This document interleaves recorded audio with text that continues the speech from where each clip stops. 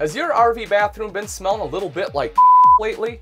Well, it could be because you ate that microwave burrito that sat out all night. Terrible choice, by the way. Or it could be because you have a bad flush ball seal in your toilet. Okay, so what is a flush ball seal and why will it make your bathroom stink? Well, folks, in case you don't know, a toilet in an RV does not have a P-trap. One of your main purposes of a P-trap at home is to keep water in it.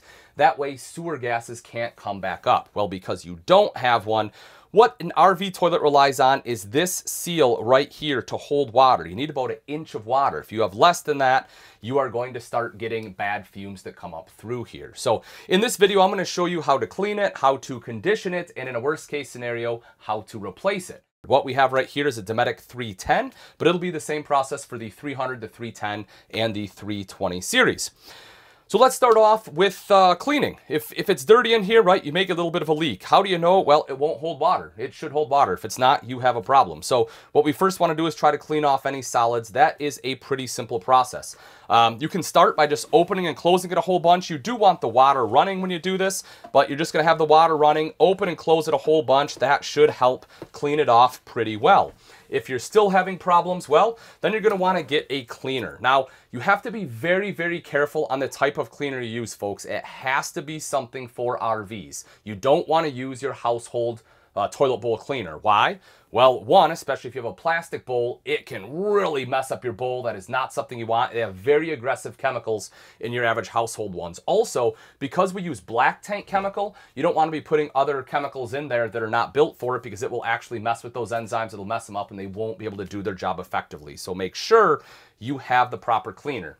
Uh, usually it'll be something that sits in there. Some of them you don't have to clean. I recommend taking just a soft brush like this, just do a little bit of cleaning on here like this. You know, you can just kind of get in there. And then what you'll actually want to do if you flush it and that still, um, you know, so we'll flush it down, we'll clean it. If we're still having problems, then you actually want to get in there, get a little more aggressive. So what you want to do is you want to shut the water off. You can then take a rag of some sort. Folks, if you're going to be getting your hands in there, please do me a favor, put some gloves on. I love the game Oregon Trail as a kid. We don't want to die of dysentery. Not a fun way to go. So we're to get some gloves so we're nice and clean. Ah, I feel like a surgeon about to get into it. Ready? Woo! All right. So you're just to take your paper towel like this, and what you're going to want to do is you're to clean the top of this seal just like that, right? Make sure that's nice and clean actually open up that ball all the way, kind of clean that ball off like so. Then you're gonna get underneath. This is the important part, folks, is getting underneath that seal and cleaning that as well. That's gonna be a big part of it right there. And that should help uh, reseat that. Another thing you can do if it's really hard, if this movement is hard or you're still, it's like catching, you can take a silicone. This right here is a silicone spray. Uh, has to be silicone. You don't want to use other kind of lubricants, but you can spray a little silicone in there, or even better, is something like this, which I recommend doing this uh, probably in the beginning of the camping season as well as the end. You'll see this is toilet seal lubricant and conditioner. Super easy to use, folks. Do this from the day you buy your RV. You take it, you pour it in there, let it sit for at least eight hours. I recommend doing it for 24, uh, and then you can literally just flush it down. Do that in the beginning, the end of the season. It will help keep everything lubricated.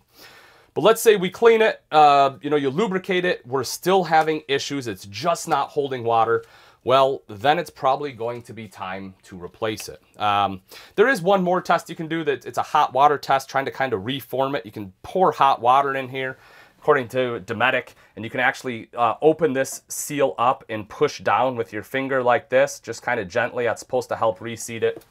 I haven't had a ton of luck with it, but it is what they do. It is what they recommend uh, in the owner's manual. But if you have to replace it, you can get a pretty simple kit, nothing too crazy just like this, right?